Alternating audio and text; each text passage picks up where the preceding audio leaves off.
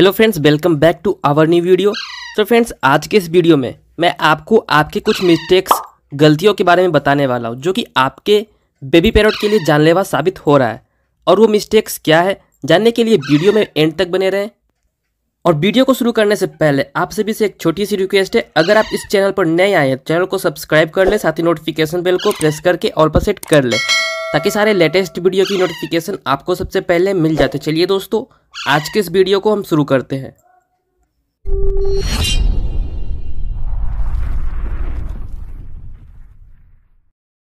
सो so friends आज का video basically उन लोगों के लिए है, जिनके बेबी पैरट का एज अभी दो महीने या उससे ज़्यादा हो रहा है।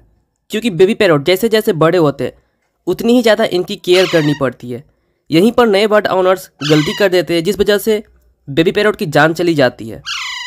सबसे पहले तो अगर आपके पास अभी छोटे बच्चे हैं like twenty days thirty days तो भी आप इस वीडियो को एंड तक ज़रूर देखिए, ताकि आगे चलकर आप ये गलतियाँ करने से बचें। अभी हम आपके फ़र्स्ट मिस्टेक की बात कर लेते हैं। ये मिस्टेक सबसे बड़ी गलती है, जो कि लगभग हर वो लोग करते हैं, जो कि फ़र्स्ट टाइम तोता का बच्चा अपने घर लेकर आए हैं। क्या होता है कि जब बेबी पैरोट ढाई से तीन महीने का हो जाता है तब से ये अपने पंखों को फैलाकर उड़ने की कोशिश करता है। और जैसा कि अभी गर्मी का मौसम आ रहा है और आप अपने रूम में फ़ैन ऑन करके रखते होंगे तो कई बार क्या होता है कि बेबी पैरोट रनिंग फ़ैन को देखकर उसी तरफ़ उड़कर चला जाता है। और चालू फ़ैन में जाने का मतलब आपको तो पता ही होगा। जैसे कि ये मेरा 75 डेज़ का एलेक्जेंडर पैरोट है, जो कि धीरे धीरे फ्लाई करना सीख रहा है। और आप वीडियो में देख सकते हैं कि कैसे ये फ़ैन को चलते देख रहा है। क्योंकि बर्ड्स मूविंग ऑब्जेक्ट की तरफ़ जल्दी अट्रैक्ट होता है। इसलिए अगर आप चाहते हैं आपका पैरोट सेफ़ रहे तो जब भी आप रूम में फ़ैन ऑन करते हैं तो बेबी पैरट को केस में रखकर ही ऑन करें। एक बड़े साइज़ का केस ले लीजिए, डेढ़ से दो फीट का, जिसका परचेसिंग लिंक मैं इस वीडियो के डिस्क्रिप्शन बॉक्स में दे दूँगा।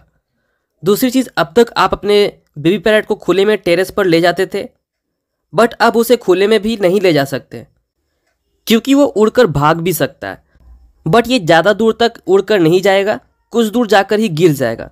फिर स्ट्रे डॉग्स या कैट्स इस पर अटैक कर सकता है। इस एज में इनके वाइल्ड में सर्वाइव करने के चांसेस बहुत कम है। इसलिए अगर आपको अपने बेबी पैरेट को छत पर ले जाना हो तो भी उसको केज में रखकर ही ले जाना है। मिस्टेक नंबर टू जैसे जैसे बेबी पैरोट बड़े होते हैं इनकी शरारतें उतनी ही ज़्यादा बढ़ती जाती है। क्या होता है कि जब ये ढाई महीने के या उससे ज़्यादा एज के हो जाते हैं तब ये बॉक्स में नहीं रहना चाहता। आप बार बार इसे बॉक्स में डालोगे, ये बाहर निकल कर आ जाएगा।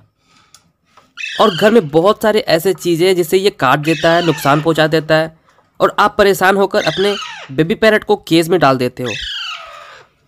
आप अपने बेबी पैरट को केज में रख सकते हैं बट हमेशा उसको केज में नहीं रखना है, क्योंकि अभी भी इसकी ग्रोथ पूरी तरह नहीं हुई है। थोड़ी देर के लिए इसे केज में रखिए, फिर बाहर निकाल देना है। अगर आप हमेशा हर समय अपने बर्ड को केज में रखोगे तो वो स्ट्रेस में रहेगा, जिससे कि उसकी लाइफ कम जाएगी और ना ही वो आपके साथ फ्रेंडली रहेगा।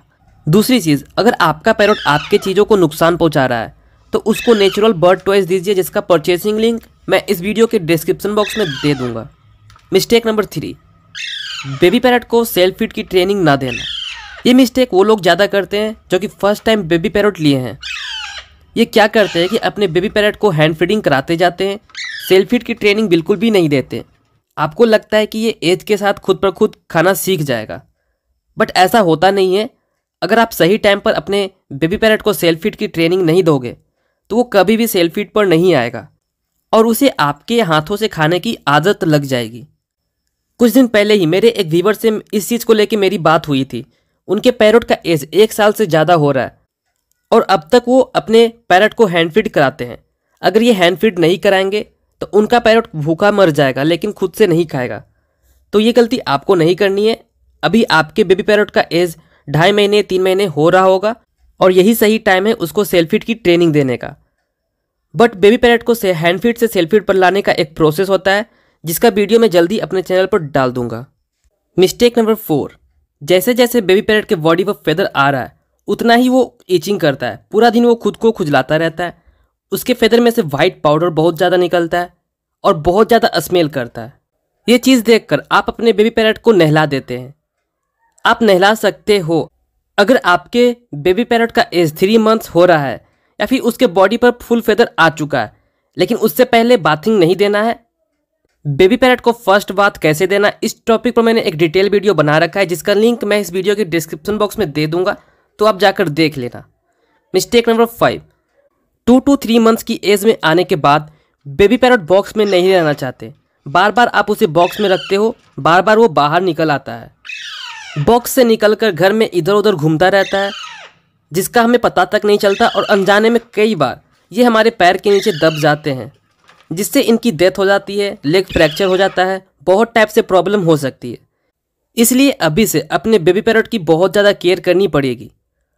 और अगर गलती से आपका पैर बेबी पैरट के ऊपर आ जाए और वो चल ना पा रहा हो, खाना नहीं खा रहा हो तो उसको वेटेरी क्लिनिक ले जाना है, जहाँ पर उसका प्रॉपर ट्रीटमेंट होगा।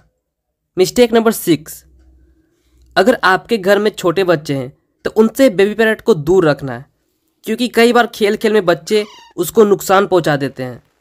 और ये इंसिडेंट मेरे एक व्यूवर के साथ हो चुका है, इसलिए ये पॉइंट मैं इस वीडियो में मेंशन कर रहा हूँ। मिस्टेक नंबर सेवन अक्सर लोग बेबी पैरोट ये सोच कर लेते हैं कि वो बड़ा होकर टॉकिंग करे, आपके हाथ पर बैठे, आपकी सारी बात माने। बट ऐसा कई बार नहीं होता है। ना तो वो आपकी बात मानता है, ना ही बात करना सीखता है, ना ही आपके हाथ पर बैठता है।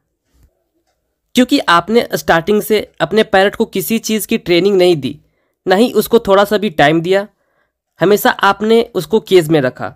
अगर आप हमेशा अपने पैरट को केज में बंद करके रखते हो तो उनमें एग्रेशन बढ़ जाता है और जब भी आप उसके पास जाओगे तो वो काटने को दौड़ेगा। इसलिए अभी से ही अपने बेबी पैरट को हर चीज़ की ट्रेनिंग दीजिए।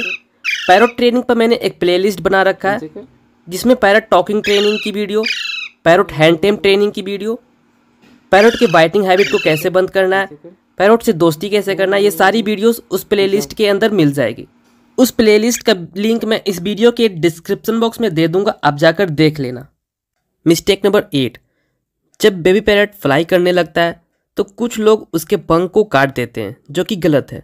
इस एज में बेबी पैरट के विंग्स को काटने से वो बहुत ज़्यादा डर जाता है स्ट्रेस में चला जाता है। इसलिए दो से तीन महीने की एज में बेबी पैरट के विंग्स को नहीं काटना है। विंग्स को ना काटने का एक बेनिफिट है, आप अपने बेबी पैरट को फ्री फ़्लाइट ट्रेनिंग दे सकते हैं, जो कि मैं अपने बेबी पैरट को दे रहा हूँ।